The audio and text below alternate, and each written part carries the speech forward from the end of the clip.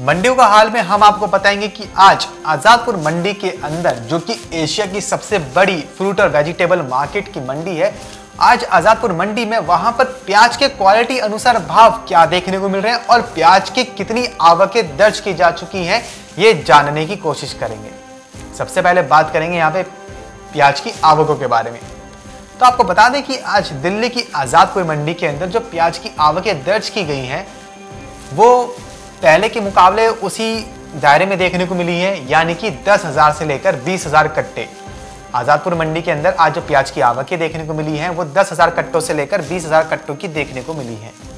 बात करें यहाँ से अगर प्याज के क्वालिटी अनुसार भावों की तो आज जो टॉप क्वालिटी की प्याज होती है, वो आजादपुर मंडी में उनतीस सौ रुपये क्विंटल तक बिकती नज़र आई है।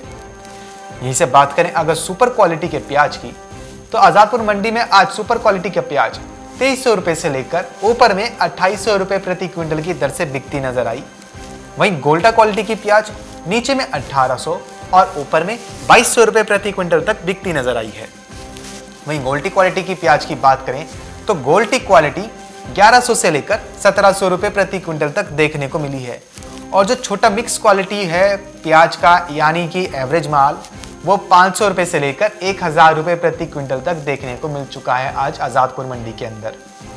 तो ये थे दिल्ली की आज़ादपुर मंडी में आज के प्याज के क्वालिटी अनुसार भाव और आवकों की जानकारी।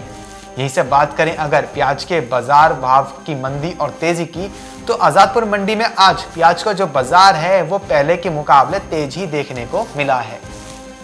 Bureau report Market Times, TV.